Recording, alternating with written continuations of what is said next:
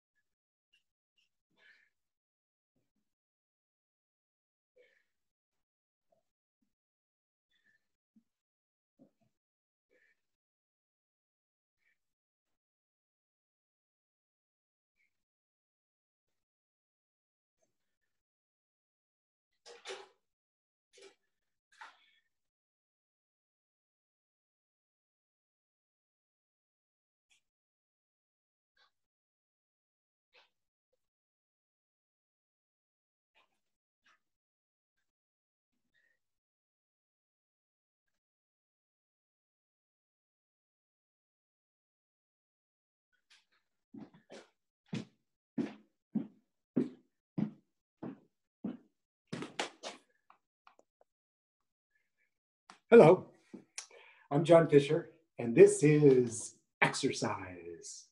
This is a story of San Francisco and Los Angeles. Now, I'm in the entertainment industry, and that means I'm in the theater industry, but it also means I'm in the bigger entertainment industry. And I always wanted to make it in movies. I wanted to make a big, huge Hollywood blockbuster, write it and direct it. And years ago, I had a show that did really well downtown. And a bunch of people from LA saw it and they wanted to bring it to LA and do it in LA. They wanted to do my show in LA. And I thought, oh my God, this is great. This is going to be my calling card to LA producers, to Hollywood producers. I'm going to break into the big time, into the movie business. I was so excited. And I was kind of intimidated by LA because LA was so rich and that was the center of the movie industry. And every time I went down there, there was the flat part, but then there were the hills where all the rich and famous celebrities lived. There were the Hollywood Hills, Beverly Hills, and then, of course, Mulholland Drive. It was so exciting down there, and I was so intimidated by it. I thought it was so frightening. I used to drive around the hills on days off when I was down there doing the show, looking for movie stars, looking for their houses, but I always saw these big walls and big hedges. I couldn't see any of the houses. And I realized that I was really kind of overwhelmed by LA. That maybe I thought too much about it. It, it. it sort of intimidated me, but not in a good way, not an inspiring way, but in a sort of overwhelming way. And then I felt like LA was sort of happening to me as opposed to me happening to it. And that's when I had a thought about my own hill, the hill that I live on. And after my LA sojourn, I began to appreciate my little hill in San Francisco and everything that's here and all the rich history on it and about eight years ago, I had some experiences that taught me a way to look way back on this older event and how not to let life happen to you, but make sure that you always happen to life. This is what happened to me about eight years ago. I was having a lot of things in my life where things weren't going so well. They were all kind of happening to me. Life kept happening to me. I was at school and teaching, and that was kind of happening to me all the time. I was doing these shows, but they're always kind of happening to me. I wasn't happening to them, they were happening to me. And then I was running the theater, but the theater didn't have any money. The theater was going through a really bad recession, right? The big recession.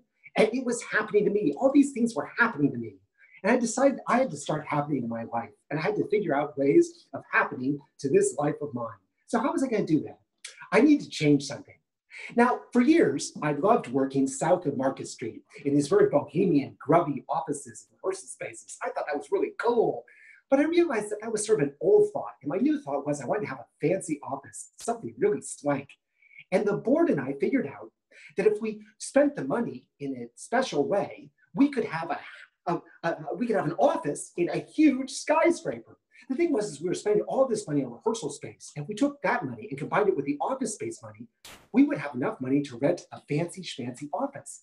And then we worked a deal with the people who rented us the office that we could rehearse at night in the communal boardroom. How exciting is that? So for the same amount of money, we got this office on the 32nd floor of this skyscraper and rehearsal space in the same office complex in the boardroom. Now here's the building.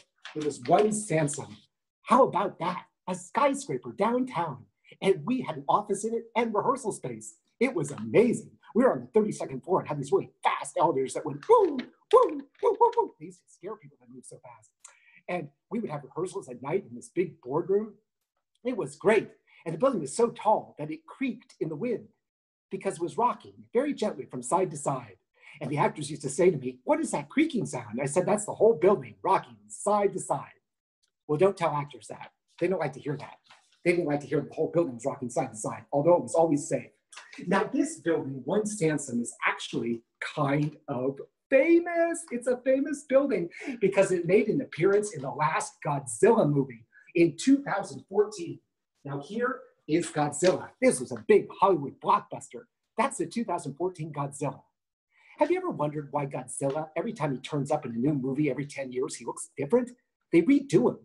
Hollywood producers say, well, this is the anatomically correct Godzilla. This is authentic. Authentic?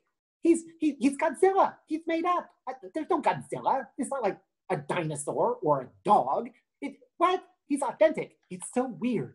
This movie's so funny too, because About halfway through the movie, Godzilla starts crashing around in downtown San Francisco, and he comes right up to my building, and he goes,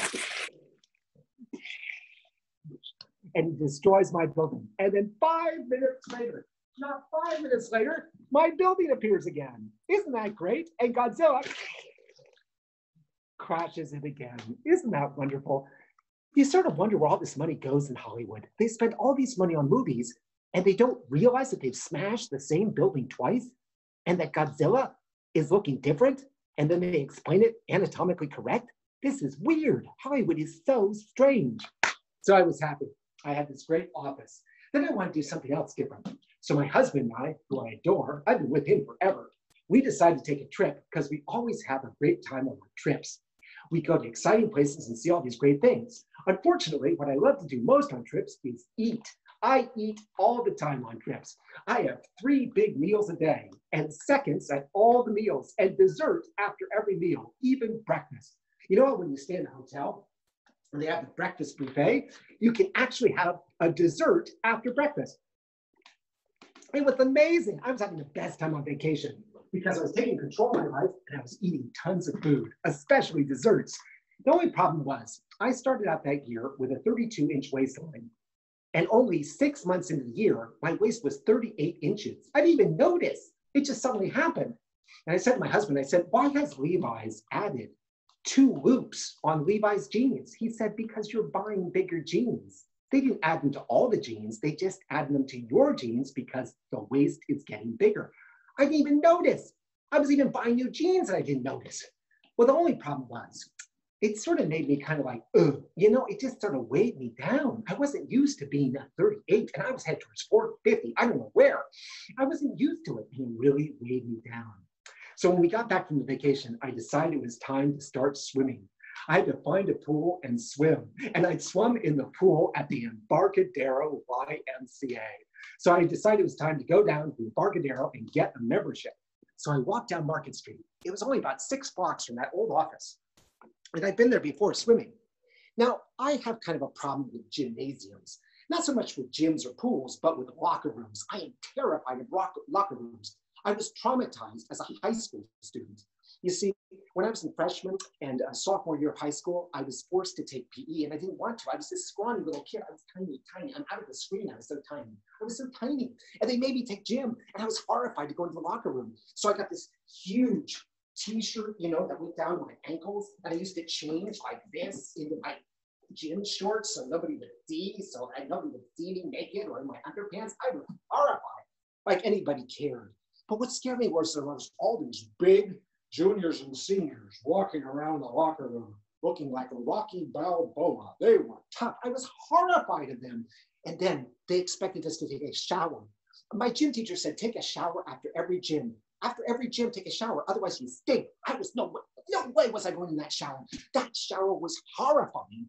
There were all these big naked guys in there, and they were like adult size, all rubbing themselves with soap and shouting at each other. It was incredible. I was going to go in there, this little shrimpo. Can you imagine what they do to me? Well, I'm so vain. They wouldn't do anything, probably wouldn't even notice me. But what about me? Suppose I got overexcited. Then what would happen? It's horrifying. So I had this complex about locker rooms because after sophomore year of high school, I never went into another one again because I was horrified of them. Decades passed, but now I wanted to swim at the YMCA. So I went in there and I said to the nice lady, could I have a membership? And she said, well, I want to give you a tour. I'll show you where the locker rooms are and the showers. I said, no, I don't want a tour. I, yeah, just a membership. And she said, but I need to give you a tour. And she said, I, I just want a membership. You see, I was afraid that if she showed me the locker rooms and the showers, I would freak out and not want to get a membership. I just wanted to get it and get in the pool. So she said, okay, we'll give you a membership. She gave me a membership. And then I said, okay, so uh, where do I change to go in the pool? She said, the locker room.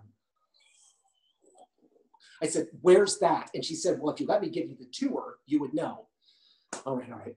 And uh, where, um, how do I get to the pool? And she said, well, if you let me give you the tour, you would know. She said, after you've been in the locker room, you walk through the showers.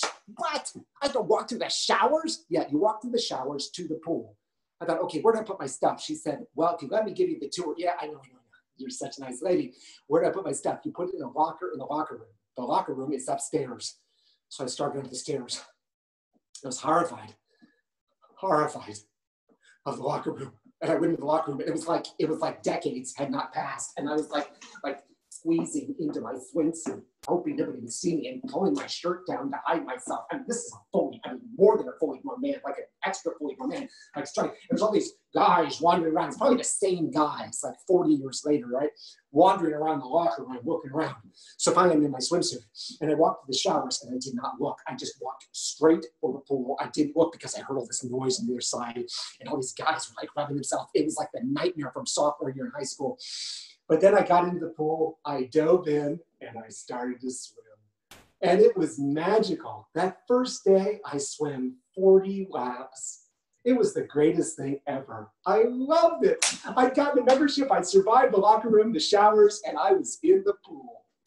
Well, I don't want you to think that it was just swimming that attracted me to the Y. I also like the weight room. Now, I can't do the weights now with COVID 19 because all the gyms are closed. So I've come up with all these things that I do in my hallway to make up for the weights that I'm not getting. And I'll show you. I'll show you what I do. So, one of the things I do with the weights, it always helped me with my chest and my arm strength. So now I do a lot of push ups in the hallway. Push ups are great, they're the best thing for your arms and your chest. And I do these. I did them before the show tonight. I love doing push ups now. And then I used to have this weight machine that helped me with my tummy. So now I do sit ups. I hated sit ups when I was a kid, but now I can do my sit ups. Look at this. I love doing sit ups.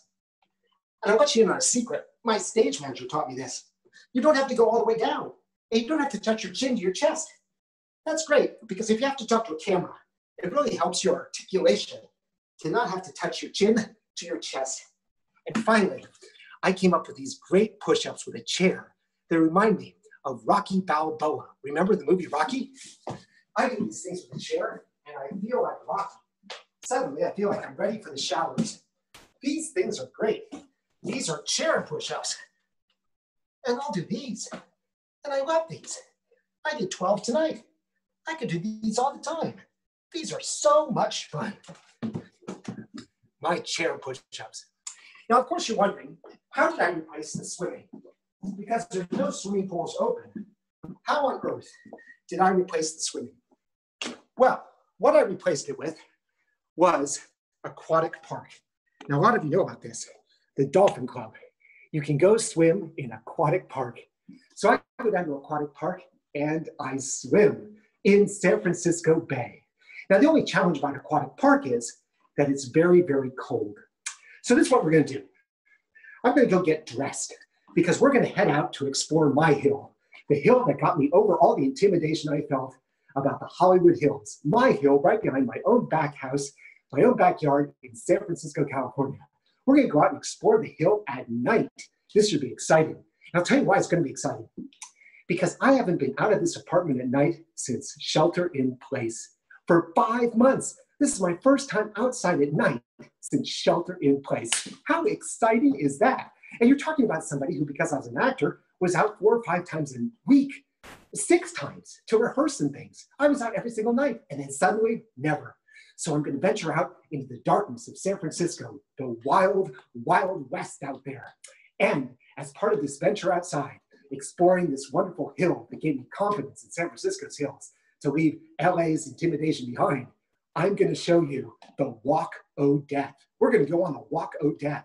This is the most exciting walk in San Francisco. It's extremely dangerous, and you're going to be right there as I go on it for the first time in the darkness of night in San Francisco. Now I have to go change because I'm going to show you what I also do exercise, which is bicycling. I have to get in the right outfit. And while I'm bicycling and getting changed in my bicycle gear, we're going to show you a video which shows you the important things about swimming in San Francisco Bay. Of all, you have to remember that it's very, very cold. So you do jumping jacks before you go in to get your blood pumping. Then you just dive in. And when you dive in, your body's in shock because it's so cold, but you have to remember to breathe. If you remember to breathe, you won't panic. If you forget to breathe, you don't have oxygen and you panic and you might die. Also, in San Francisco Bay, at Aquatic Park, there are harbor seals. Now, harbor seals are pretty much okay, but they are marine animals and they can be vicious. Four years ago, they started biting people, but something was wrong with them four years ago. They haven't been biting people lately. And you see them out there, right? So you just have to remember that while you're swimming, don't accidentally bash one in the head. Very dangerous. And finally, very important, you have to remember to frolic because after you've done all that exercise, you have to remember to splash around in the water. That's your tribute to Neptune, the water god, frolicking in his water. So the wonderful Joe Talley is going to show you a video about getting into the water, remembering to breathe. He's going to show you a, vicious looking harbor seal, so you'll know what to look for, this little head that you'll see. And then he'll show you my demonstration of frolicking. So let's turn it over to the wonderful Joe Talley. Take it away, Joe, as I go change. I'll be back.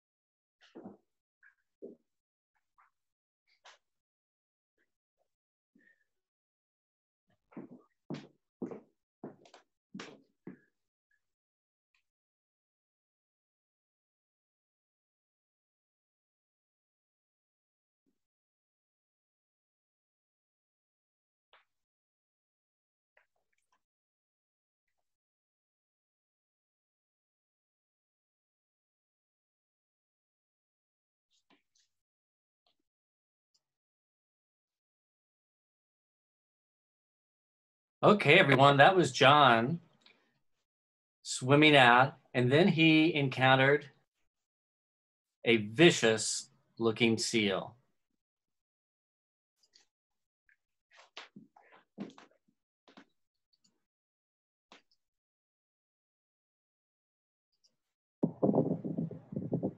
Ooh.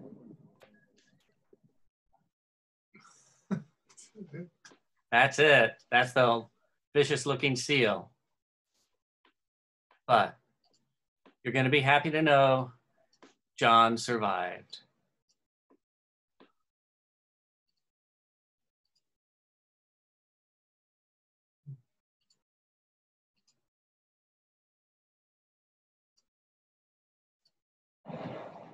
John survived, no seal. Thank you.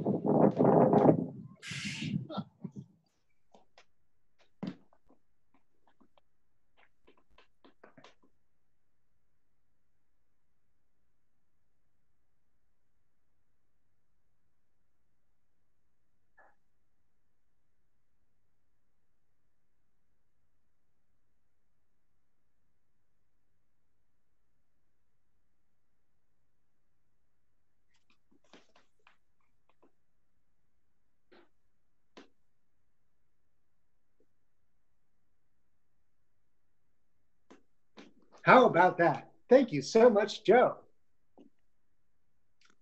We're back. Yes, did you see that vicious looking seal? Wasn't that intimidating? That little black dot? He looked vicious. Did you see me frolicking at the end? You have to remember to frolic. It's very important. So I just want to make sure that I'm all oriented right. Yes, indeed. And let's try one more thing before we go. Perfect. There we go. It looks like we're all set. Now you see, I've gotten into my bicycling outfit. I never wear these things. I think they look totally silly, but I love this one. This is the first one I've ever owned. I got it because I knew that you'd expect a costume. So I got a great deal on Amazon Prime and it arrived. And it's black and it's red. Those are very theatrical colors. And now I have my great bicycle outfit. I think guys that wear these are silly because they're so tight. And I don't think tight clothes should be worn on a bike.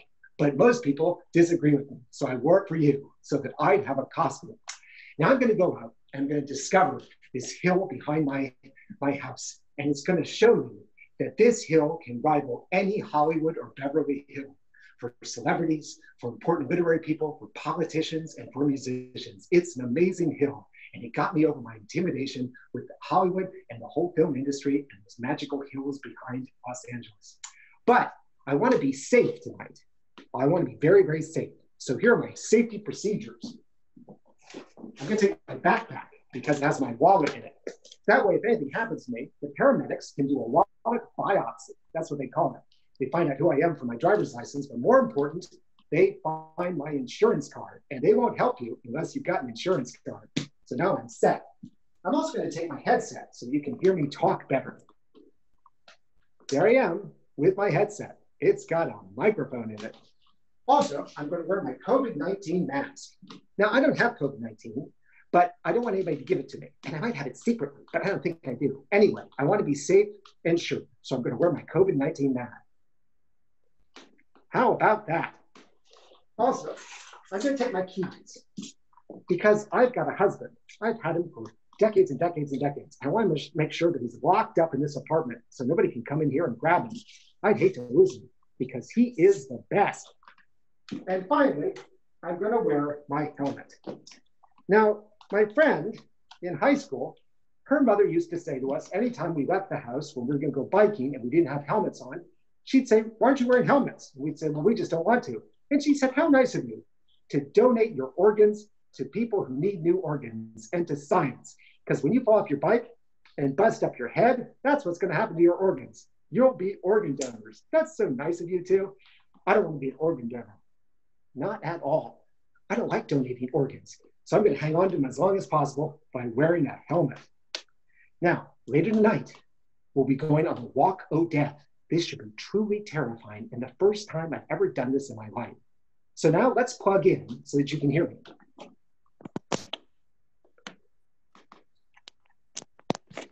So now we're plugged in, and I hope you can hear me through my microphone. Now I'm going to take you off of the wall, and I'm going to put you onto my bicycle, and we're going to head out into the night. Now you're off the wall, and here you go to my bicycle.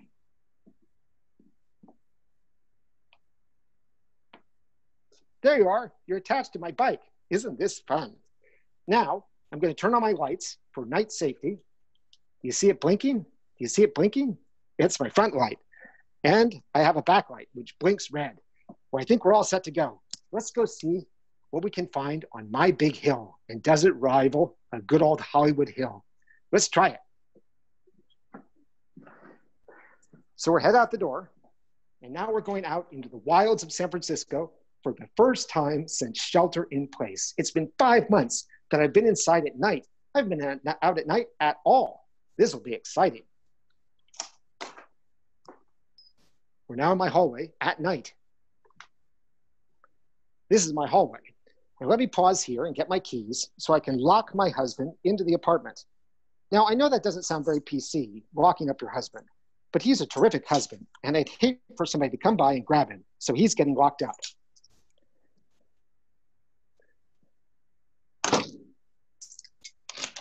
He's all locked in. So now let's go outside. This is exciting.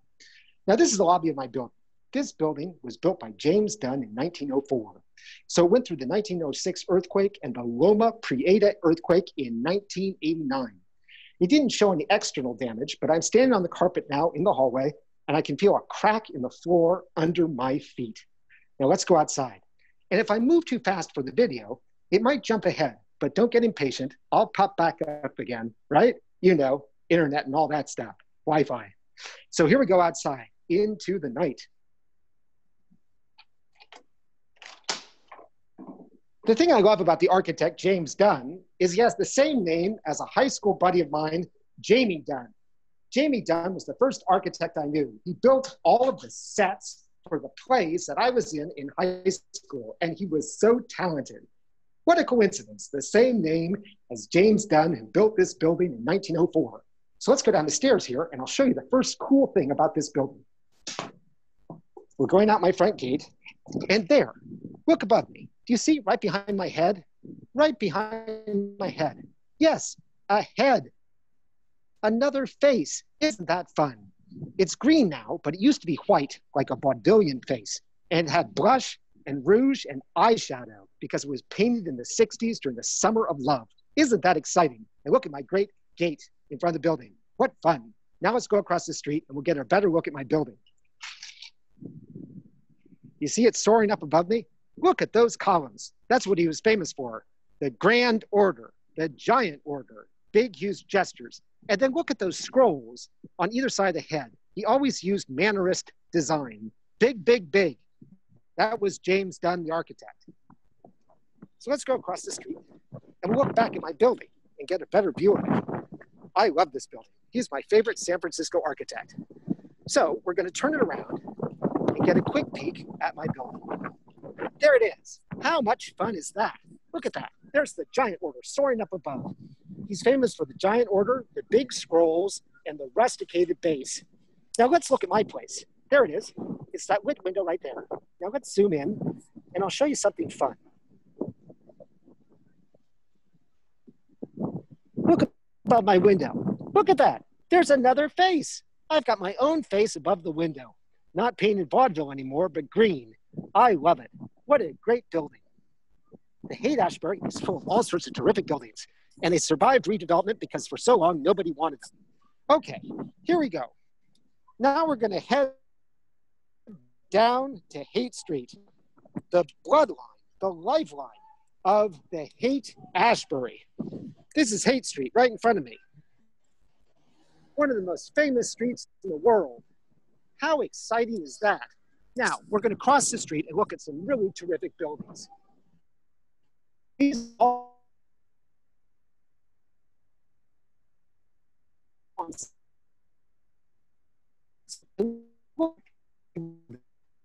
there are seven of them marching down the street.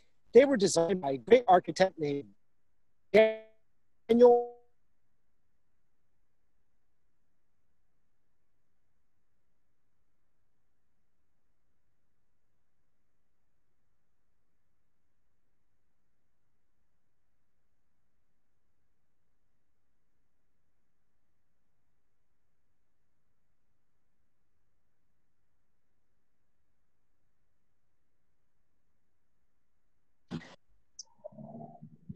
Here we go. We're going to head up this big hill in front of me, across the street.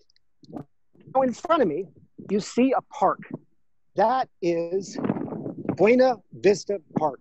It used to be called Hill Park, and that is the first park in San Francisco and was designed by a great landscape architect. Yes, John McLaren. He came here to make Golden Gate Park. And while he was at it, he made Buena Vista Park in 1867, the first park in San Francisco. It was sort of a gift with purchase because it was a small park to accompany his big park, Golden Gate Park. It's so mysterious at night. Look at it soaring in front of us. And later, we're going to enter the park at night on the Walk o' Death. Why is it the Walk o' Death? I'll tell you. It's scary. And I'll tell you about that in a minute. Now, this in front of us is Walden House. Walden House is for people going through recovery, recovery from drugs, recovery from alcohol, people with psychological problems, people re entering the real world, in quotes, after they got out of jail. It's a wonderful place full of terrific people. And it's part of an organization called Health Right. I'll tell you that about that in a minute. Now, there you see Buena Vista Park. Buena Vista Park has storm drains that are lined with old headstones from graves. The graves were removed from Lone Mountain, which is off to our right, because they wanted to build a college there. And nobody claimed the gravestones. They moved the bodies, but not the stones. So they used the stones to line the storm drains. Now look at this. This is the chapel at the back of Walden House because it used to be a Christian organization. What was it before it was Walden House? Well, I'll tell you, it was what was known as a home for fallen women. Yes, that was the awful name they called them. Women who got pregnant who didn't have a husband. They'd come here have their babies, and the babies would be adopted. And that way, nobody would know. How awful. Walden House is run by an organization called Health Right, the right to health. That started with the Haight Ashbury Free Clinic because a doctor in the 60s thought that everybody should have health care. He thought health care was a right, not a privilege. So he started the Haight Ashbury Free Clinic and added to that organization, Health Right, is Walden House, this terrific organization for recovery and re-entering the real world, in quotes. We're now headed up Buena Vista West. So, getting back to my story about LA, some people I met in San Francisco loved the show and they wanted to perform it in LA. They asked me if I'd let them do it. They even auditioned for me and they were terrific performers. So I took them and I combined them with a bunch of actors who've been in the show in San Francisco, but were already living in LA because they wanted to make it in movies and TV.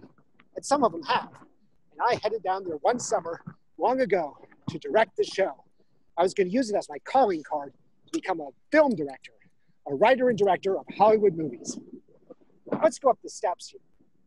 Now, I'll give you some clues as to who the occupants are of the first two houses that we're going to visit. Their songs. Listen carefully. Driving that train, high on cocaine. Here's another one. Teach your children well their father's hell will slowly go by. So treat.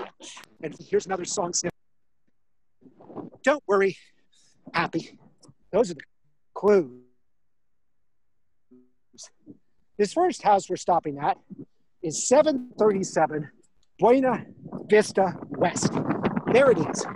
What a majestic house, undergoing yet another renovation. I love it. Now, this house was built by a man named Vogel in 1897. He built it for a man named Richard Spreckels. Spreckels was the nephew of Claus Spreckels, the sugar baron. Now, Claus Spreckels built the first Spreckels mansion in Pacific Heights. It's based on the Petit Trianon from Versailles. And his nephew, Richard, wanted his own mansion, so he built this Spreckels mansion on my hillside with a spectacular view of the Pacific Ocean. Look at that building. Well, Richard Spreckels moved on, and then it became a boarding house. And a very interesting man moved into it, Ambrose Bierce. Yes, the great American author of The Devil's Dictionary. Ambrose Bierce is one of my favorites. He is amazing. When he was a child, he became a drummer boy in the Union Army during the Civil War. He fought in many great battles, and when he got out of the Union Army, he was a brevet major. He wrote a terrific story about one of those battles, Chickamauga, and the best story about war ever, the incident at Owl Creek Bridge. I love this story because it plays with the time space continuum. It is a terrific story, one of the best about war ever, ever, ever. Then he moved to San Francisco to write for William Randolph Hearst's San Francisco Examiner. And he wrote a poem two and a half months for the assassination of President McKinley. Well, the poem satirized assassins. And people thought that he had incited the assassin. How stupid. Ambrose Bierce never took anything seriously because he thought that men were awful. He thought that man was a wolf to man. That's a very important phrase given what we're going to do tonight. Man is a wolf to man.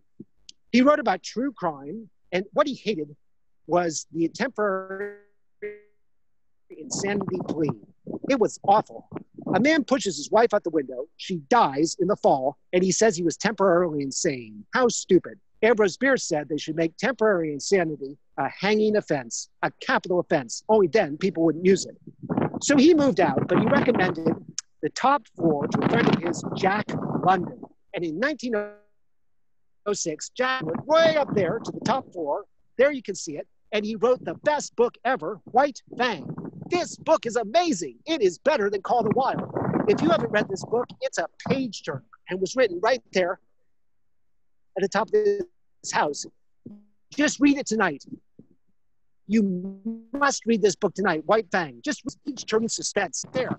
On that top floor. Look at it. Look at it. Look at it. Look at it. It is amazing. Now, Jack London did something else really cool. He went to Hawaii and he discovered surfing. He was the first Haole to fall in love with surfing. So now when you see Haoles surf, it's because of Jack London. Many years passed after Jack London, and a man named Jerry Gar- Garcia came here with a band called the Grateful Dead. They went back up to where Jack London had written his book, and on the top floor, they started recording the first tracks they ever recorded, right here in the Haight Ashbury in this building, 737, built in 1897. How amazing is that? Unfortunately, Jerry and his band members didn't like hauling their stuff all the way up the stairs, so they didn't record that much stuff up there. So a few years passed, and then an incredible actor bought this house, a real Hollywood movie star. And here I am intimidated by the Hollywood Hills, and I have a movie star right here in this house. It was bought by none other than Danny Glover. How about that? Danny Glover, a local hero.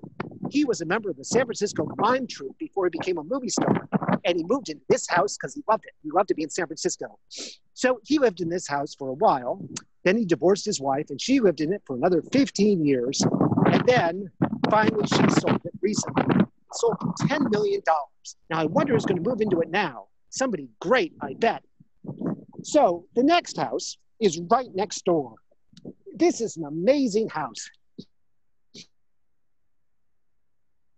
because of the people who've lived in it. Let me guess who the people are. Here we are at 731 Buena Vista, the house right next door to Danny Glover's. Let's zoom in. There. Can you see it? the grilled entryway. You can just make it out. It's amazing. It's like the entryway to a house that the Addams family would own. Morticia and Gomez. Look at that entryway. This house was built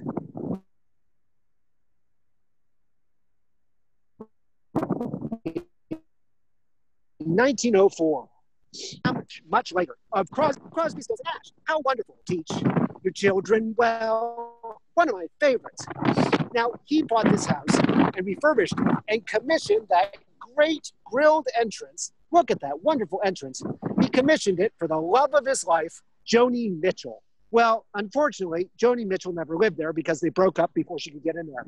So Graham Nash moved on to the next love of his life, Rita Coolidge. I don't know if she lived in this house, but how fun that Graham Nash from England lived in the Haight Ashbury and built that great grill. Then he sold it and a man named Bobby McFerrin bought this house. How fun is that? How, how does Hollywood Hills have this hill beat? This is just one of dozens of hills in San Francisco, and look at everybody on it. Now, Bobby McFerrin wrote that great song, Don't Worry, Be Happy. And in that great song, he used two of his friends from the Bay Area. He used that great clown, Bill Irwin, of the Pickle Family Circus, and my favorite physical comedian from my lifetime, Robin Williams, a local hero. Robin Williams from Marin County. He went to my high school, Redwood High School, and they're all in his video. And they lived right next door to Danny Glover's house from the SF Mime Troupe. I'll tell you something else about Danny Glover. He's a great recycler, good guy. He used to haul his recycling down to Golden Gate Park, but now that recycling place is gone. How exciting is that? Now let's keep moving up the hill. Now I'm going to show you a bunch of houses which are all the same People don't know this. A developer developed this gray house behind the pole and this tan house up the hill with the lights on, and then the gray house next to it, and the next gray house across the street from that. They're all exactly the same house, but with different decorations and different paint jobs, they've come to look completely different. So let's head further up the hill. Now, it's kind of foggy, so you can't see it. But if you look across, you'll see vaguely in the fog another mountainside. That's the opposite side. It's way over there. It's pretty hard to see. But on that mountainside is a street called Edgewood. Edgewood is on that mountainside. And that, Edgewood, is the location of my next story. Because on Edgewood lives one of the great gay writers of all time, maybe one of the great writers of all time, an amazing man, an amazing San Franciscan, Armistead Maupin.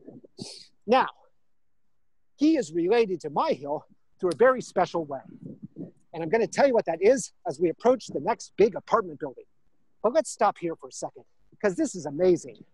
Right here, if you look across the street, you're going to see a series of houses, beginning with this gray house.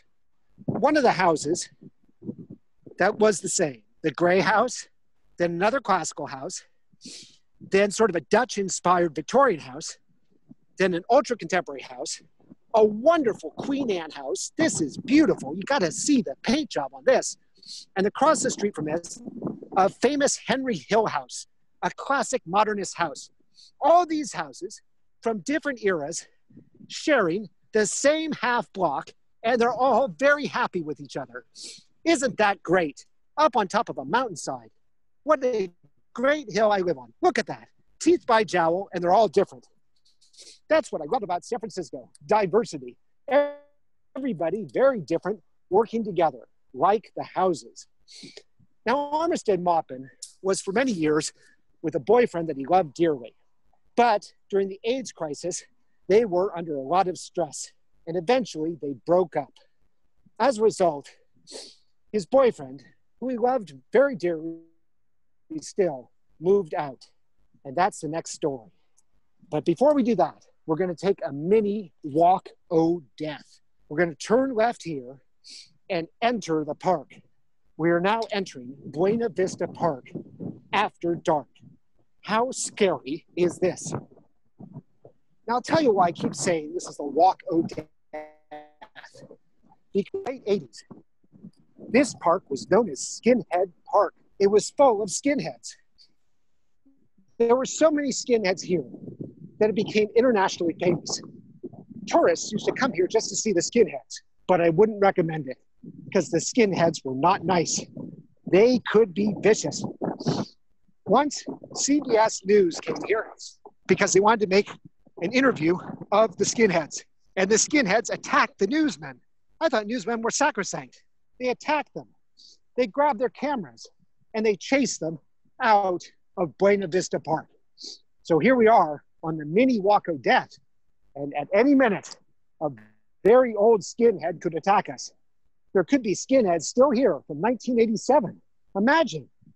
And they're probably angrier than they were back then. That is why this is the mini walk o to give you a preview of the big walk o. Now, we all love Italian hill towns. Who doesn't love Italian hill towns like Orvieto and San Gimignano? But look at this in the middle of San Francisco. Look at this. We have our own Italian hill town. Can you see it? There it is, right in front of us. There is San Ignatius, built in 1914. How about that? And right behind it, Lone Mountain College, built in 1922. And if you look really close, you can see the Golden Gate Bridge behind Lone Mountain College. Look at that.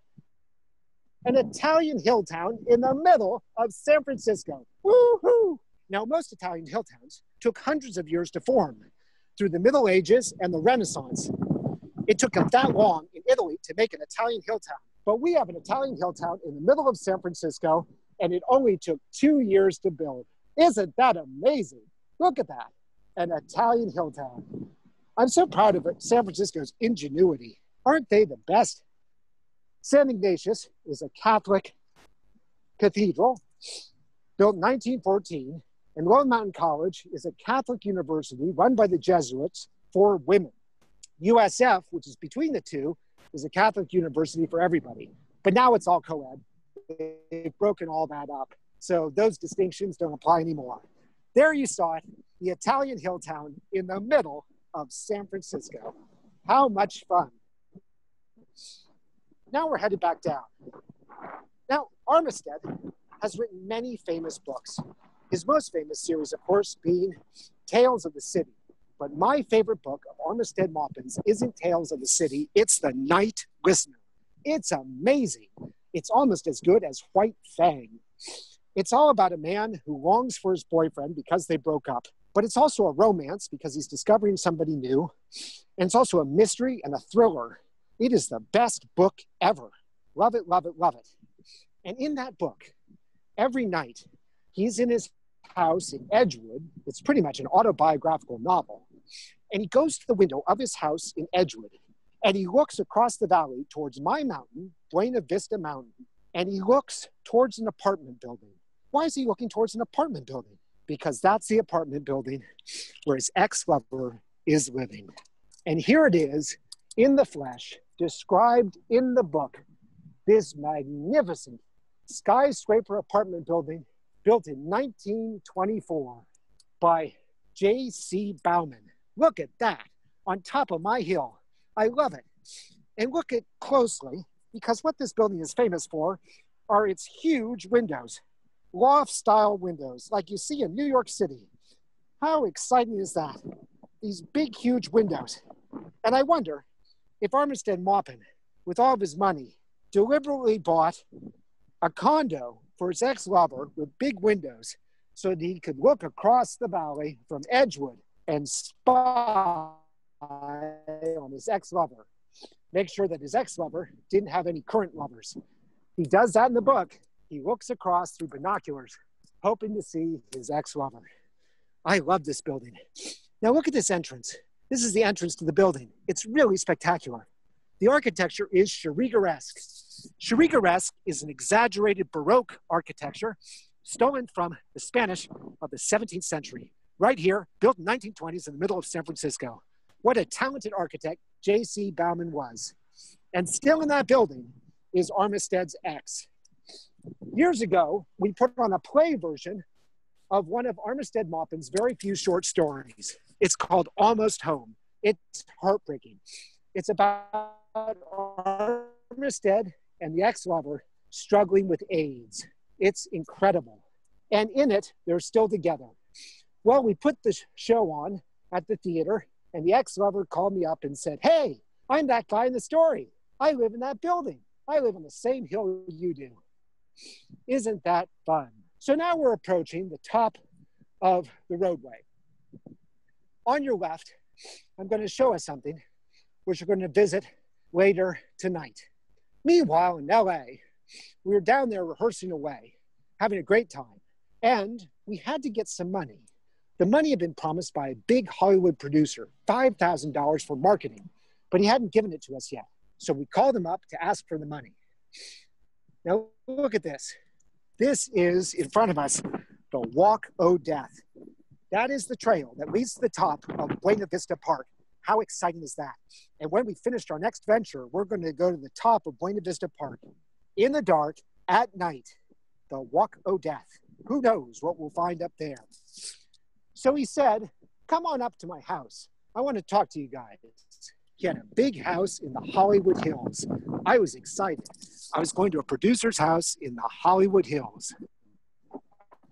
As we go down this street, we'll pass a beautiful house built by Ida McCain, one of the few female architects from the early 20th century. It was built in 1917, and it is a pip. I love this house. It's made of clinker brick, you know, those uneven bricks. Let's look at this. How about that? Look at those bricks. All that beautiful red. I love this house. It's majestic. Let's look up at the top. Look at the roof line. This house is great.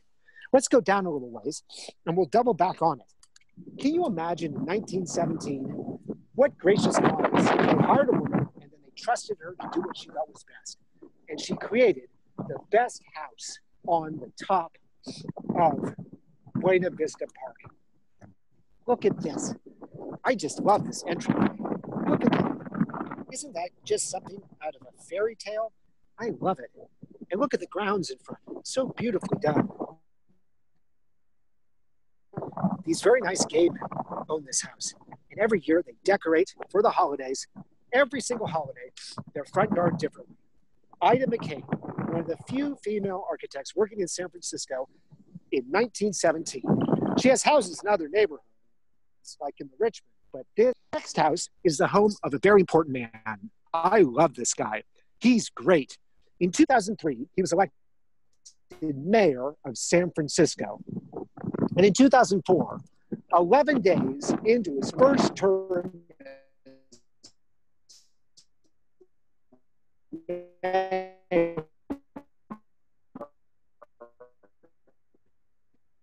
he started he started marrying. This is what he said, so oh, long as I'm at the city level. So he started marrying those people. And here is his house. Yes, indeed. This is a house of Gavin Newsom. This is where he lived when he was mayor. Isn't that spectacular? And he just kept marrying people. They kept telling him that he couldn't, and he just kept doing it. He married them, he married them, he married them. And eventually, because he married people for 10 years, they had to make it legal. Now, it had to happen because a lot of gay representatives like Barney Frank said, no, no, no, it's too early. But Gavin said, no, no, no, it's much too late. Let's do it. And I'm convinced that he got marriage for me and Michael. I wouldn't be married to my wonderful husband if it weren't Gavin Now, he lived in this house with his wife, Jennifer Siebel. Jennifer Siebel is from my hometown, Ross, Ross, California, in Marin County. And I knew a Siebel. I don't think it was her, but I knew another Siebel. So all these great things come from Ross, right? Yay! Jennifer Siebel. After he was lieutenant governor of California, built a house on his mother and father-in-law's estate. And that's where the Newsoms ended up. Isn't that exciting? And they have children. I'm convinced that he's going to become the first president who's gay. That's right. I mean, he loves his wife and his kids, but I think once he's president, he's going to come out of the closet. He's done so good stuff for gay people. I'm proud of Gavin. Now, right in front of us, you see the silhouette of a great hill. This is called Corona Heights. Now, if you have Corona Heights, I definitely recommend it. It is a pip. It's right there. There, you see it? That's the top of Corona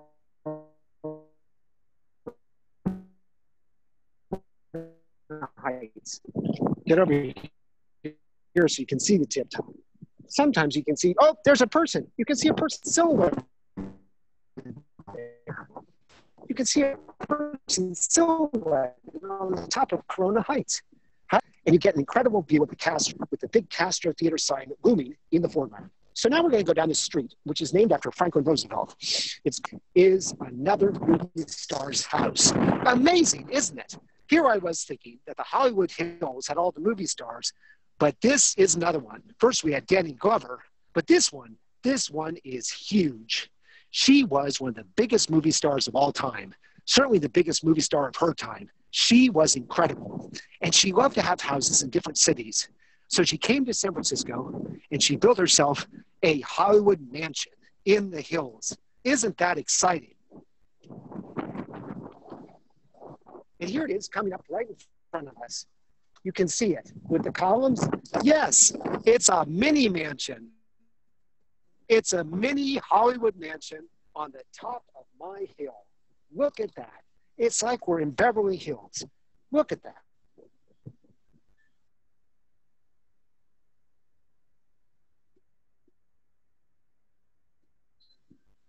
Do you see it? Those are ionic columns. As I said, it's like a mini mansion. I love it. It's only one story tall. Whoever. Her name was Norma Talmadge, and she was the star of the silent screen. Everybody loved Norma Talmadge. And she built this house because she loved San Francisco and she loved to hang out in San Francisco on my hill.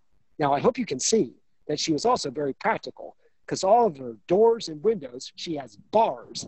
She realized that she was in the middle of San Francisco and she had to be safe. So she put bars on the windows. Let's go have a closer look, and hopefully we won't get in trouble for disturbing the occupants. I love this house. It's magical. And out the back of it, it's got an amazing view. How about this? There it is, your mini mansion in San Francisco. Now, it's not just a mini mansion because they found out that there's a ballroom on one of the lower floors. There are three floors that go down the hill and the ballroom had a full size Steinway Grand in it. And when she died, they had to take that out. Now, Norma Talmadge was very famous, and she made the transition to sound. She did. She had a good speaking voice. She worked on it a lot. And you can watch all of her movies on YouTube for free the silent ones and the sound one. And her voice is really good. But the two movies she made with sound were not good movies. They were terrible. And consequently, her career ended and she retired. And people used to say she was killed by sound, but she wasn't killed by sound. It wasn't her fault. They were just awful movies. That's what killed her. Unfortunately, she was the inspiration for Lina Lamont, that character who can't speak, who can't make the transition from silence to talkies in the movie Singing in the Rain. Isn't that awful? And even worse, Billy Wilder said that Norma Talmadge, inspiration for Norma Desmond in Sunset Boulevard. Horrifying. Can you imagine being the inspiration for Norma Desmond? That's terrible. Unfortunately, there's some truth in it because she became a big drug addict after she retired. She had a lot of pain from arthritis. There's Corona Heights, and you can see somebody right there in the saddle of the two peaks. How much fun is that? As I said, go up there and you get the great view of the Castro and downtown San Francisco. Well, Norma Talmadge had a very pushy mother named Meg, Peg Talmadge. Peg was determined to make all of her children, her three daughters, movie stars because she married a bad husband who was a drunk. And she did. And she invested all their money, and they all lived glorious retirements. But she did do a lot of drugs, and unfortunately became an inspiration But we like her house, right? So as you see now, we're approaching once again the Walk O Death. And if for chance you don't think I'm serious about this being a dangerous walk, I'm going to show you something. Because right at the entrance to the Walk O Death is a sign. Oh, there's another great view. Look at that. Can you see it? There it is at the end of the street. There it is, the Italian hill town in the middle of San Francisco. Yes, indeed. San Ignatius. It took the Italians hundreds of years to make it Italian hill town. It took us only 10. So here we come up to the entrance to the Walk O Death. And here at the entrance is a sign. And the sign says, this was a problem. And it started about five years ago. Look at this sign. How scary is that? See what it says? Coyote alert. Coyote alert. Five years ago, coyotes suddenly turned up in Buena Vista Park, right here in Buena Vista Park. Coyotes. How scary is that? Now, the reason there's a coyote alert is because the coyotes started eating small animals.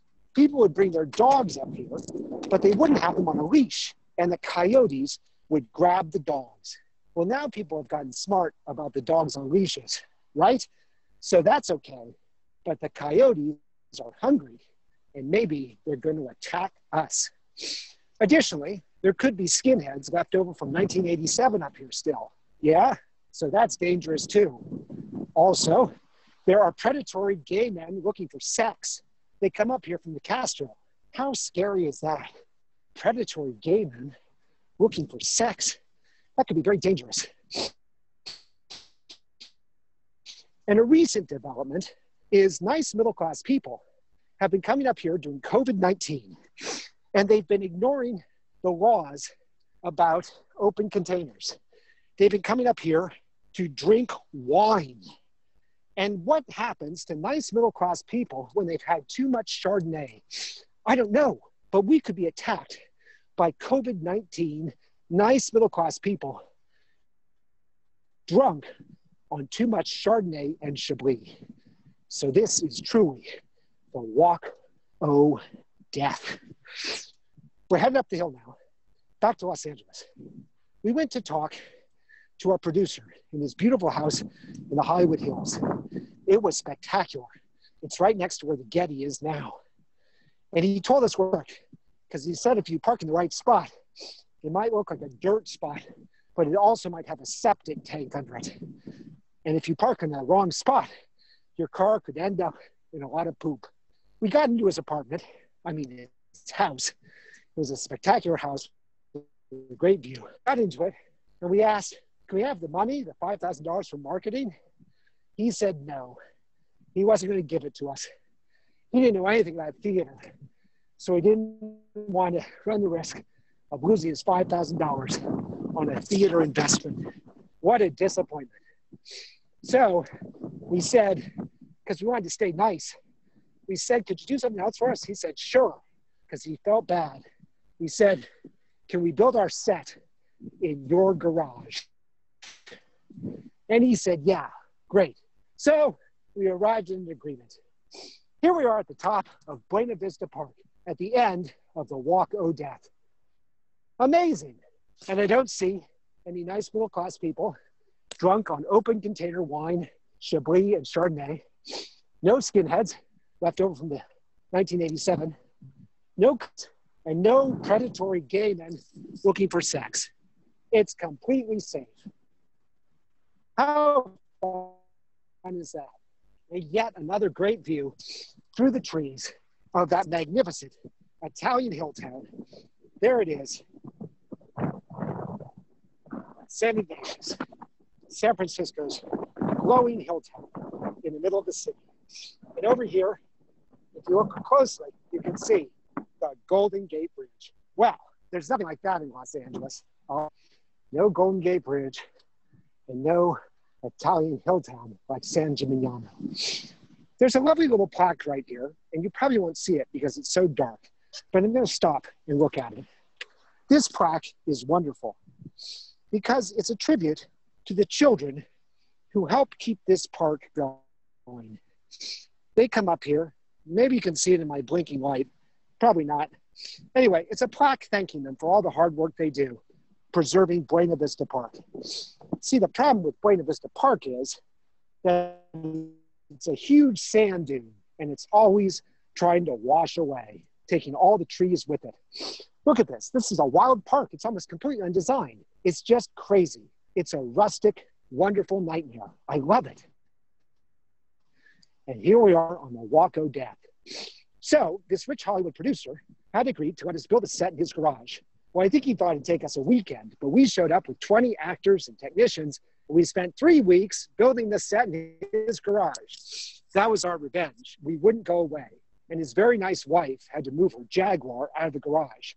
And after three weeks of hammering and painting all day on the weekends, he told us, Could you please move your set out of my garage? He was very nice. And we said yes, because it was almost opening night. So it all worked out fine. And we were able to be just a little bit annoying to this guy. Now, if you look in front of us, you'll see Twin Peaks with all the little houses. Do you see it? It's just visible there. There it is. Twin Peaks with all the little houses. With all the little houses is full of gay men, of course. So it's often called the Swish Alps. Anyway, our Hollywood producer couldn't afford to give us $5,000. I never figured that one out. I didn't figure it out, or I couldn't, because he'd given $20 million to make the movie Hurricane. Yes, indeed, he paid for half of it. Now, this guy had made a bunch of money in Canada by deforesting Canada. His family was responsible for a Canadian logging empire. That's how he made his money by deforesting Canada. And he had gave $20 million to make the movie Hurricanes, starring Denzel Washington. What a great movie. Now, the movie came out about a year after our show, and Denzel was great. He got an Academy Award nomination. They also had to pay for a very fancy director, Norman Jewison. And they also had to pay Bob Dylan to use the rights to his song, The Hurricane. Of course, he had to do that. That's almost as famous as the movie, probably more so. And consequently, they spent all, all of their money. All it was, the movie was a big hit, got tons of people. So our producer got fleeced, fleeced by Denzel, Norman Jewison, and Bob Dylan. But I say more power to them. Artists should always be paid as much money as possible, even if producers, especially that producer, lose money. Well, he's still down there, so I tried to remain friendly. Maybe one day he'll hire me to write and direct a movie. I gave him a, flower on opening night with his wife. He was so surprised and touched. I said, Thank you for letting us build the set in your house, in your garage. Now, coming up on the right is where I want to retire. Of course, I'm never going to retire because uh, I'm going to have to work until just before I die. But that's okay. I'll have two or three months of retirement. And where I want to retire is here at Buena Vista Manor House. I love this place. Look at it. It's at the top of my hill and it's got the best tile work ever. Look at that facade. Now let's see if we can see the tile work. Yes, there it is. Buena Vista Manor House. Isn't it cute? I love this place. Now, I think it might be a bit of a challenge for retirees because um, you're not going to want to be at the top of a hill if you're retired. You can't really walk anywhere, but that's okay. When I retire for two months before I die, I don't want to walk anywhere. I just want to watch TV and eat a lot. Yeah, remember eating? I love to eat. In front of me, and you can always see it through the windows, you see the windows of a hospital. This was a hospital. It was called St. Joseph's. It was a Catholic hospital. And right now, you can't see it, but it used to be and still is pink.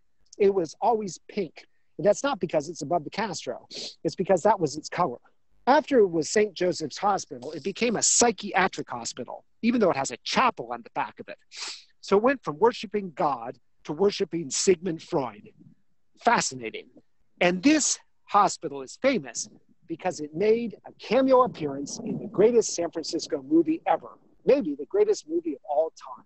Because when it was a psychiatric hospital, somebody came here to be crazy.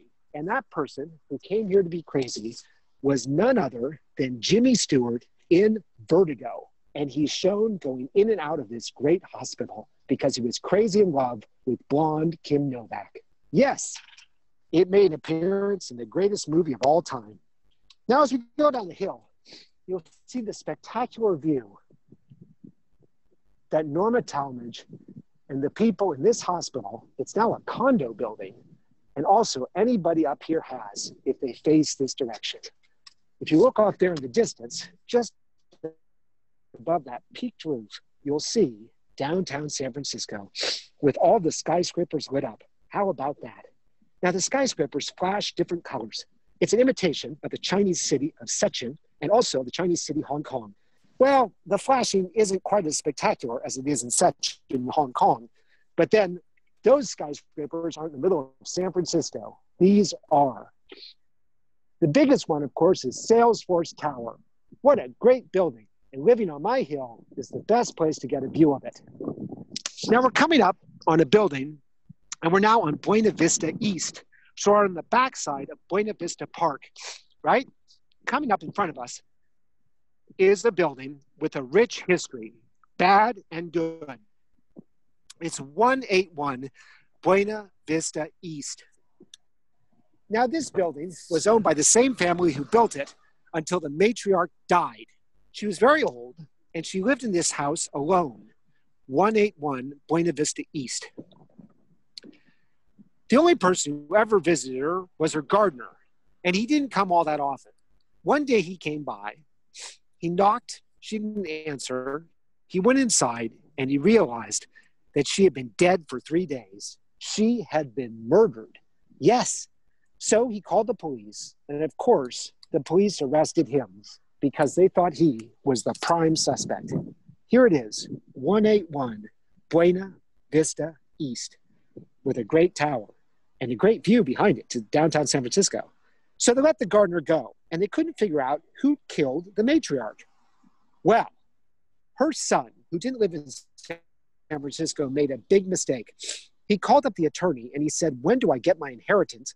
I really need the money. So, guess who became the chief suspect? Her son. And it turned out that her son had flown into town the morning that she was killed and flown out of town that night. How suspicious is that?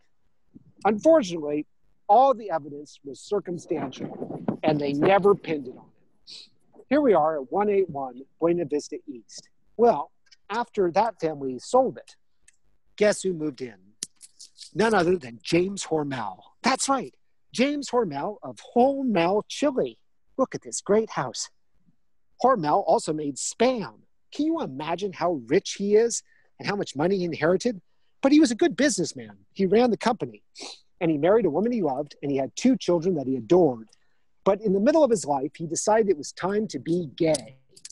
So he still loved his wife, but he divorced her and stayed friends.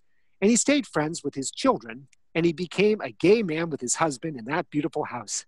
And he's a wonderful benefactor to gay organizations. Isn't that great? He even gives money to Theatre Rhinoceros. What a good guy. And remember when Bill Clinton, Bill Clinton, the president, made him the ambassador to Luxembourg? That was great. And everybody was so upset because he was gay. How ridiculous. Luxembourg is tiny. Who cares?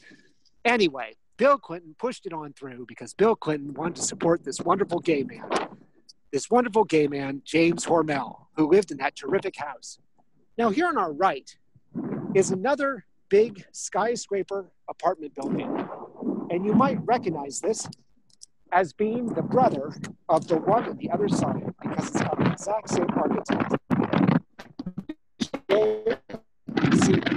Yes, it's by this architecture building that Lumberstone Rapids love And look at it, it's got these big, huge windows. I want to stop. Let's just see it. Yes, big windows. So I wonder if Armistead has another lover there, somebody he can keep an eye on, all the way over from Edgewood. I love this building because it's got this great Art Deco entrance. There's a goddess over the door.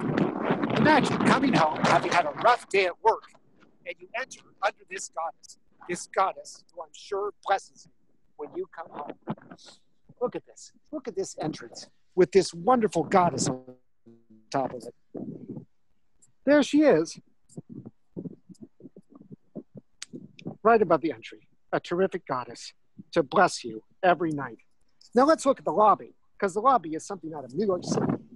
I just love this. Look at that lobby. It's like a Chrysler building lobby. What a great place to come home to. Baumann sure knew how to build apartment buildings. He knew his stuff.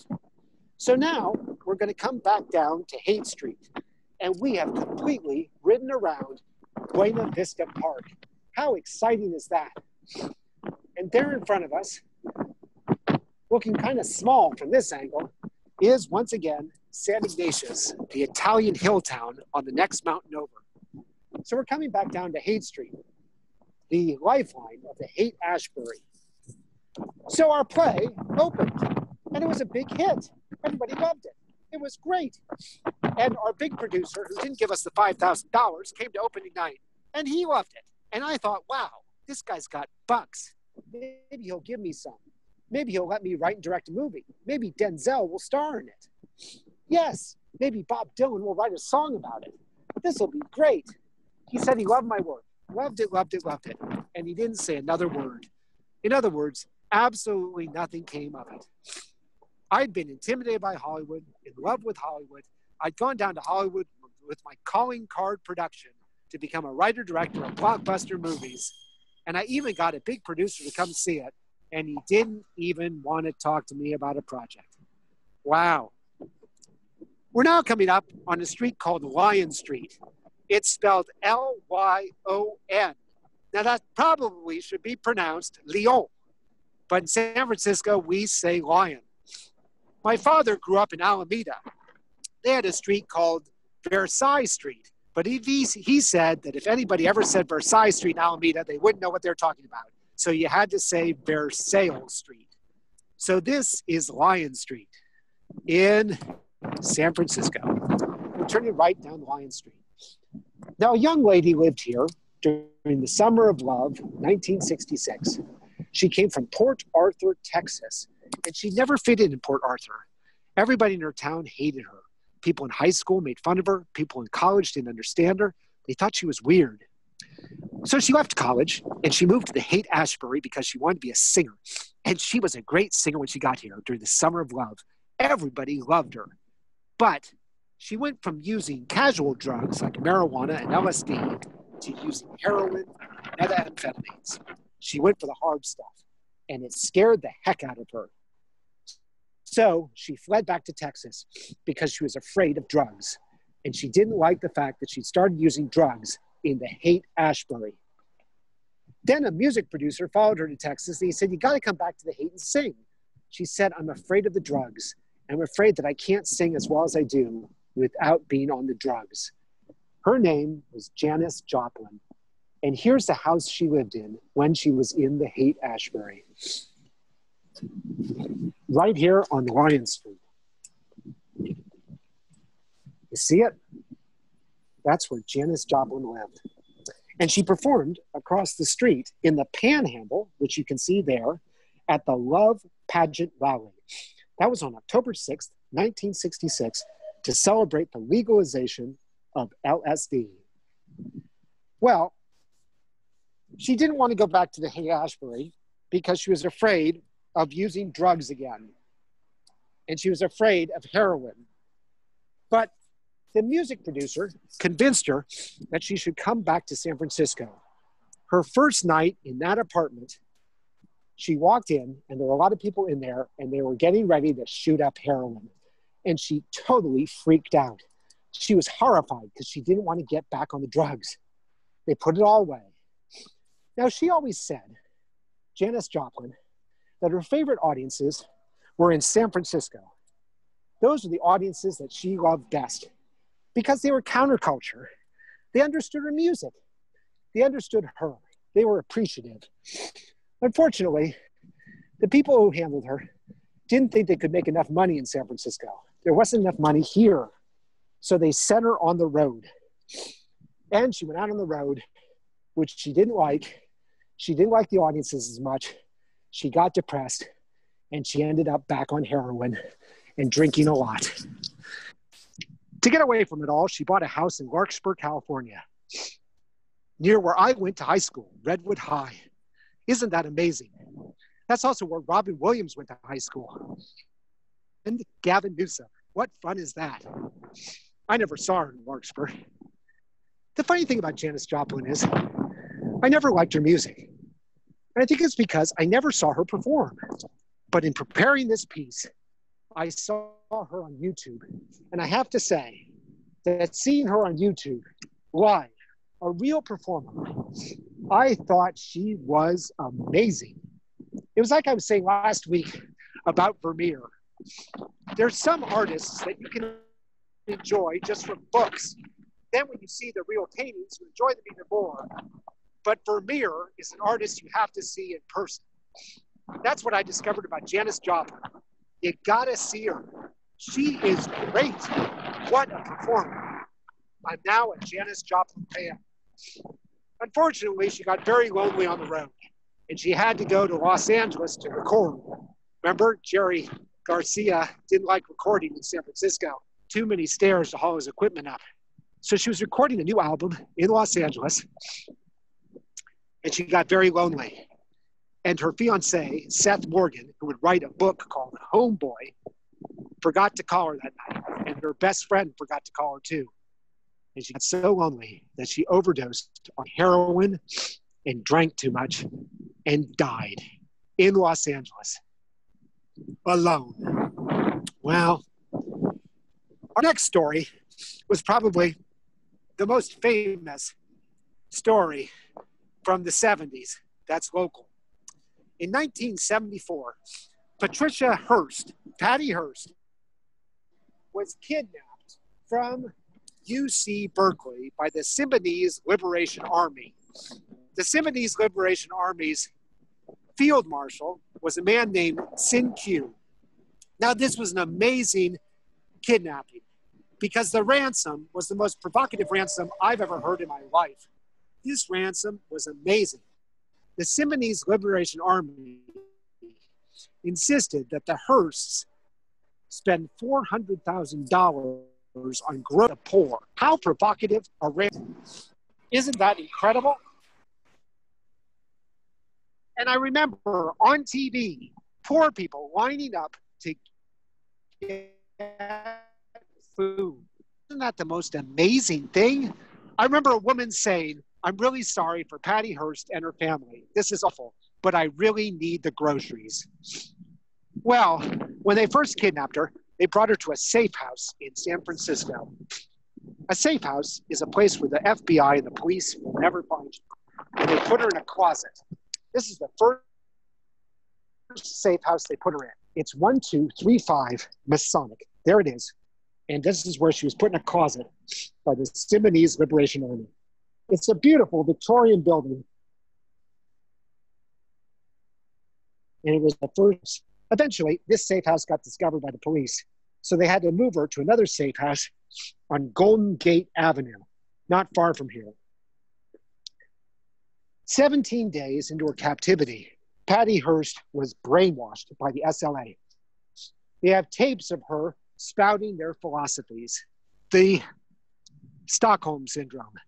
She'd been brainwashed by her captors, and she participated in a famous robbery of the Hibernia Bank on Noriega in the Richmond district. Unfortunately, two men were shot during the robberies. It was bad. So the Symbionese Liberation Army had to leave San Francisco. They fled south to Inglewood in the Los Angeles area. There, they were run to ground by the FBI and the police department, and in a massive shootout, a bunch of them were killed, along with their field marshal, Cinque. Patty and the Harrises fled north and ended up in another safe house, another part of the city. And there she was found by the FBI with her friend Wendy. They put her on trial as an accessory to murder because of the two men who got shot at Hibernia Bank robbery. How about that? We're coming up on another house of another famous rock and roll star. This man is considered one of the greatest rock and roll musicians of all time, Jimi Hendrix. He came to the Haight Ashbury to do music during the Summer of Love. One thing I didn't know about him is that he was in the 101st Airborne Division. He was an elite airborne person. But he discovered when he was in the Airborne Division that he wanted to make music. He didn't want to be a paratrooper. So here's his house, the Jimi Hendrix Red House at 1524 Haight Street. There you see. It's a beautiful three-story Victorian. Jimi Hendrix house.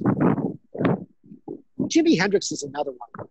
I never appreciated him until I started preparing this piece, and then I watched him on YouTube. What a great performer. I never loved his recordings, but I loved watching him. Unfortunately, he went the same way as Janis Joplin. 17 days before she OD'd on heroin, he OD'd on heroin in London and died. Both of them were 27 years old. How sad is that? Amazing. Two performers who you have to see because they are magic when you see them. Meanwhile, my show in LA was getting all these agents coming to see it, dozens of them. But they weren't looking for writer directors, they were looking for actors. And every night they'd show up and paw through all the headshots we gave them looking for the actors. No producers came to see my show. And I thought, well, this is sad. The whole reason I came down here was to have a calling card so I can make it in movies as a writer director. But none of them showed up. Woody Allen's agent had seen the show, and he said he loved it. He even got a good gig for me in Aspen, but he was retired, and he really didn't have the energy to take on a new project. So there were no surprises. I came back to San Francisco and started working on another play, a big, huge play. And it was reviewed in Variety magazine. And immediately I got a call from Hollywood, even though I was back here.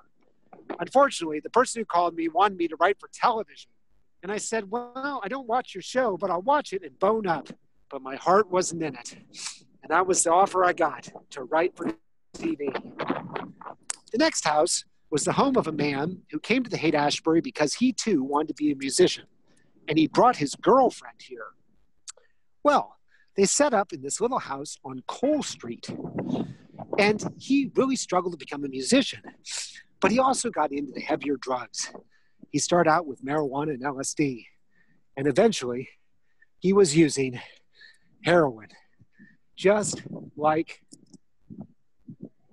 Janis Joplin. So he got into the hard stuff. And he lived here, right here, at 626 Cole Street. And his name was Charles Manson. And his girlfriend's name was Squeaky Fromme. Now, my friend Peggy lived right across the street, and she and I used to shout out the window at the people on the street having fun. And the whole time, we had no idea that 20 years before we were shouting out the street, Charles Manson had lived right here on Cole Street. Now, Charles Manson was very frustrated with his inability to get started as a musician in the Haight Ashbury. So he packed up and he took his family of characters, including Squeaky Fromme and all these people, disciples he gathered around him, and moved to Topanga Canyon to an unused Hollywood set where they lived in the Los Angeles area. And eventually, he ordered his family to execute, kill Sharon Tate and her house guests in the famous Tate murder. Joan Didion wrote probably the most famous essay about the Haight Ashbury, Slouching Towards Bethlehem. But she didn't like the hate. She thought that the drugs had ruined it. She was here during the heroin era. And she said that the 60s ended with the killing of Sharon Tate and her house guests in the Polanski house in the Hollywood Hills. I once heard somebody say the 60s really was just 1966 and a little bit of 67, and the rest of it was just residue. But the magic is still here. It's incredible. And it trumps any magic of any neighborhood in Los Angeles. That's what I discovered. Just by stepping out my back door and exploring my hill, I found a hill as magical as anything in Los Angeles. We're coming up on our last house, and in front of me, you'll see rising above gloriously. There it is again, San Ignatius. And there it is on its own little hill, right in front of us. My little hill town. Like magic, this place. Do you see it? Right there in the distance. It just keeps popping up. LA doesn't have hill towns, not like us. You have to go to Italy to get ones this good. So, this last house is kind of complicated because there have been a lot of discussions about who and what and how. I'll just say this a woman named Kathleen, who was a very famous writer in the 20th century, lived in this house. She was very successful. Her granddaughter married the father of my brother in law. My brother in law and my sister in law are both Romanoffs. And Kathleen was the grandmother, great grandmother of my brother in law. Now, the woman that her granddaughter married was Andrew Romanoff of the Romanov dynasty. The Romanovs fled Russia after the communists killed Tsar Nicholas I. And Andrew is a direct heir to the Romanov dynasty. How about that? And here is where his famous mother in law lived, grandmother in law, excuse me. Kathleen lived in this house, and she was a writer. And because her daughter married Andrew, we call him Big Andrew, I am now the brother in law of Little Andrew. Little Andrew, Little Andrew, my brother in law, could one day be czar. And if he is, I could go with Michael, my husband, and dance in a huge waltz scene at the Winter Palace. How much fun would that be? Yes, indeed. But then Putin would have to give the Winter Palace back to the Romanovs. So, what did I learn? I learned that Hollywood doesn't really have anything on San Francisco, not even my little mountain. And I also learned that some very evil things happen in LA. Think of it three of our stories that started in San Francisco ended horribly there. Patty Hearst and the SLA and that awful shootout in Inglewood. Charles Manson and Squeaky Fromme ordering the execution of Sharon Tate in the Hollywood Hills. And finally, dear old Janis Joplin dying in that awful little hotel, trying to make it as a recording artist because she had to be in LA because that's where all the recording happened. It's so sad. Now, evil things have happened in San Francisco, but those evil things, I don't know. They tarnished LA for me. I used to be intimidated by it, but now not so much anymore. Through a combination of understanding some of the evil stories that ended there, and also through discovering in my own backyard a delightful place, every bit as magical as a Hollywood hill. So here I am, back in the Haight Ashbury, next to my library. This is my library. It's the Parkside branch. Look around. Nobody coming. I'm going to pull my mask down again. Thank you for joining me in my exploration of my neighborhood, the Haight Ashbury. How much fun was this for me? It was great. I'm John Fisher, and I've been doing um, COVID 19 presentations for every week of Shelter in Place. This is my 21st, and I couldn't do it without you guys coming along with me. So thank you so much for being my audience. If you'd like to make a donation to our theater in these trying times, we'd certainly appreciate it, and it would help us continue all of this free programming that we've been doing. But more than anything, we love you just being here. So here's the address if you wanted to make a donation therhino.org. That's T H E R H I N O.org. Or you can mail it to me in my office or I'm working during COVID 19. John Fisher, Theatre Rhinoceros, 91 Central Avenue, number 102, San Francisco, California, 94117. And that's my address on the mountain of Buena Vista Park with all those great movie stars and politicians, literary figures, and musicians all over it. I'm so proud of it. Yes, indeed. It's a great hill to live on, better than anything in Hollywood. So I'm going to ride home to my husband, and I hope you guys have a lovely evening. Thank you again so much for joining me for exercise, and exploration at night of the Walk o' Death and my wonderful hill full of so many wonderful people and such great architecture. Good night.